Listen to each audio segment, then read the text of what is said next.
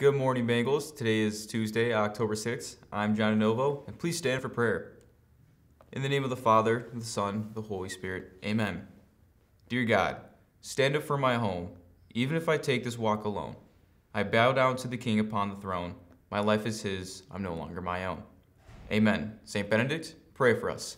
In the name of the Father, Son, Holy Spirit. Amen. And please remain standing for the Pledge of Allegiance.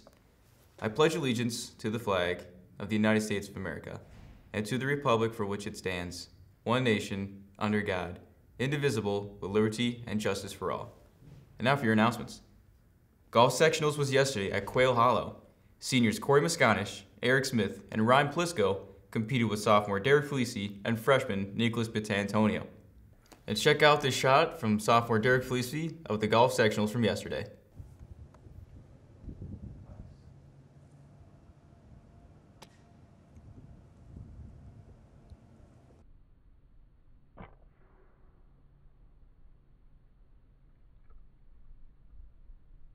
Please continue to follow the COVID 19 guidelines.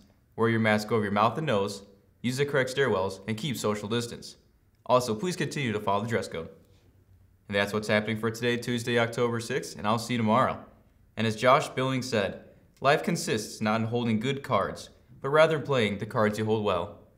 This is John Novo, and these are your morning announcements. Later, Bengals.